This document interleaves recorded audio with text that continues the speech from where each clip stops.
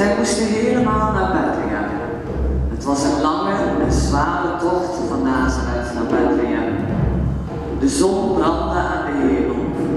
De reis ging over zandpaden, over heuvels. Maria was nu al maanden zwanger. Ze zag op tegen alles wat haar te wachten stond.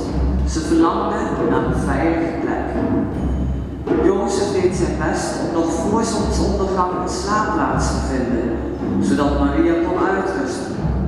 Maar de zon ging al onder en de maan kwam al op. Jozef en Maria bleven daarom de hele nacht doorlopen, want ze wilden zo snel mogelijk in Bethlehem zijn. Ze wisten dat het gebied gevaarlijk zou zijn. Overal hoorden ze geluiden van wilde dieren.